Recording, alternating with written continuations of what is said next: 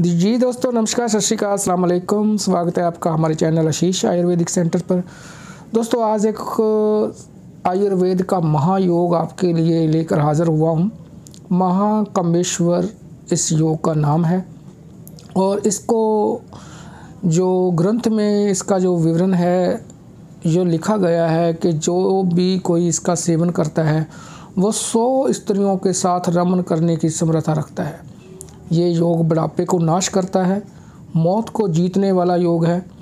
और ये जितनी भी आपने हस्त मैथुन करके, अपनी बचपन की गलतियाँ के करके जो वीरिया को नाश कर दिया है, अपना बेड़ा गर्क कर दिया है तो सारी पूर्ति करने वाला ये योग है। वीरिया को जो लोग भी ये खाते हैं, वीरिया की नदियाँ बहाने वाला ये योग है। इसको दो ग्राम की इसकी मात्रा, ये एक मंजून बनेगा। दो ग्राम की मात्रा अगर सुबह शाम मिश्री मिले दूध के साथ खाएँगे तो इसके साथ पर में पुराना बुखार, अरुचि जिसको भूख नहीं लगती, वायु, दमा, खांसी, रेशा धातुशीनता जिसको बुखार दांत पड़ना कहते हैं, सब ठीक होंगे। तो वीडियो शुरू करने से पहले आपसे गुजारिश है कि अगर आप मेरे चैनल पर नए हैं तो वीडियो को लाइक कर दें और नीचे दिए गए बेल का बटन ज़रूर दबा दें, सब्सक्राइब कर दें, ताकि आने वाली वीडियो आपको आसानी से मिलती रहे। तो दोस्तों, ये वाक़ ही आयुर्वेद का महायोग है। जो लोग भी इसको खाएँगे, इसके गुण आप खुद गाएँगे और दूसरों को भी आयुर्वेद की शक्ति के बारे में बताएँगे कि वाक़ में आयुर्वेद के अंदर आज भी ऐसे ऐसे योग हैं जो पड़े हुए हैं, जो बंदे को काया पलट नुस्खे हैं, जो वो काम करते हैं।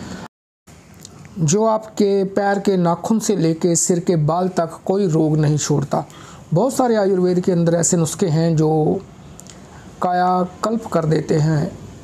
तो सबसे पहले आपको सिम्बल के फूल जो है, ये जब सिम्बल का मौसम होता है, फूलों का उस टाइम इकट्ठा करके रखने हैं।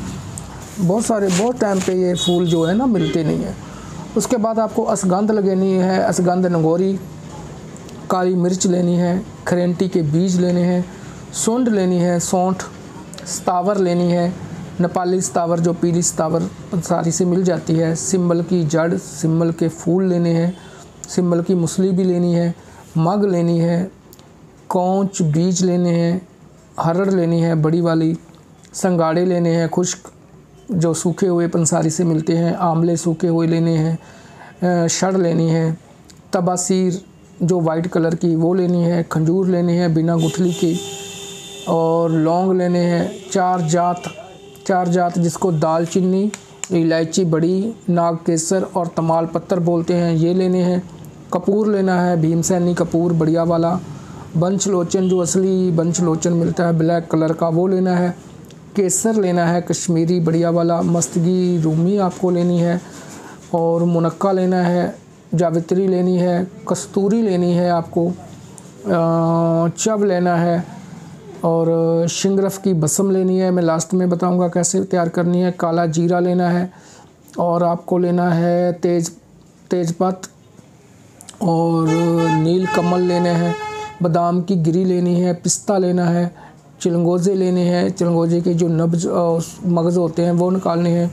इसके बाद बखड़ा लेना है, मुलट्ठी, कायफल ताल मखाना जायफल, उटंगन के बीज, समुंदर सोख खचूर और लो बसम लेनी है है मोची वाली। ये सब आपको बसम लेनी है जो कि भाँग के चार चार तोले जो अर्क होता है उसके साथ उसकी कटाई की के बाद जब वो लेनी है ये सब भी आपको चार चार तोले लेने चाहिए उसके बाद कुछ बसमें है इस तरह का परेशान कर बसम लेना है आपको।